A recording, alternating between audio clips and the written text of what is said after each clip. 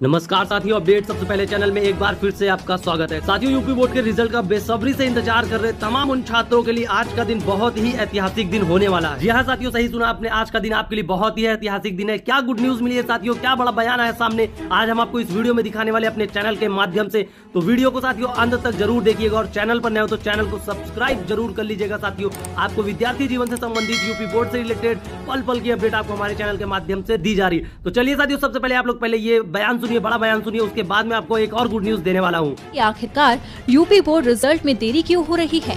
दरअसल UP board की ओर से आयोजित होने वाली दसवीं बारहवीं की परीक्षाओं के दौरान इंटरमीडिएट में अंग्रेज़ी विषय का पेपर लीक हो गया था।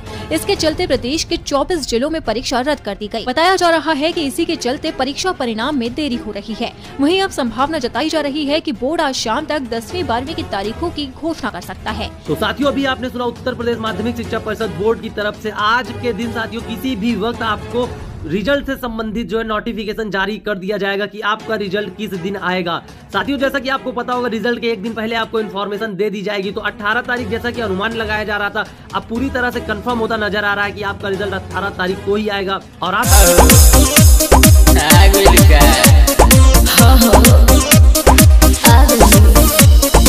किसी भी वक्त आपको नोटिफिकेशन मिल सकता है बोर्ड की तरफ़ से तो चैनल को सब्सक्राइब कर लीजिए। आपको हमारे चैनल के माध्यम से सबसे पहले ऑथेंटिक अपडेट दी जाएगी। तो चलिए साथियों, हमारे साथ जुड़े रहे लेटेस्ट और ऑथेंटिक अपडेट पाने के लिए। हम जल्दी मिलते हैं साथियों अगली अपडेट के साथ। जय हिंद।